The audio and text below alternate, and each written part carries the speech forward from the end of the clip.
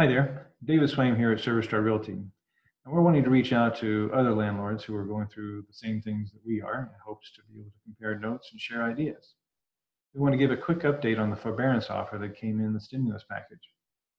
If you if you if your loan on is owned by Fannie Mae or Freddie Mac, then this applies to you. The stimulus package says that the servicers of these loans, whoever you make your payments to, can offer up to six months worth of forbearance on your payments. And again, another six months on top of that. Now, those monthly payments are deferred only of the interest. The taxes and insurance are not part of that, so they would need to be kept current. Now, with this being offered by the government entities who own it, Fannie Mae, Fannie Mae and Freddie Mac, they're not the ones who service them, and they may have a different idea in mind. The government says that these payments would be delayed and added to the back end of the loan. So if you have a 15 years remaining, you now have 15 years and six months.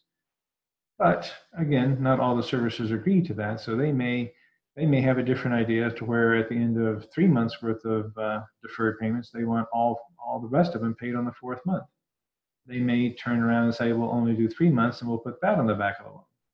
Some will say that this hurts your credit and you shouldn't do it. Others say that it will not. It comes down to how lenient your mortgage company is going to be. They have the ability to do what was said previously, but check with your lender and see what their policy is and how it can help you. Be patient. Bank of America alone had 150,000 requests for deferment within the first three days. So you know they're going to be swamped. These programs will help help us all. Tenants who have lost their jobs and have no income will get back on their feet. It may be one month, two months, three, maybe even four months. But if we can get them to pay partial amounts while our mortgage payments have been delayed, then we can work it out for all. For those who are lucky enough not to have a mortgage on your property, this is probably not much of a help.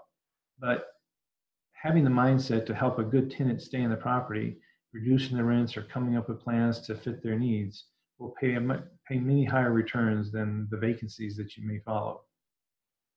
This is new ground. And as I said before, we're open to hearing new and good ideas. So feel free to reach out and share your ideas with us as we are with you. So thanks for watching.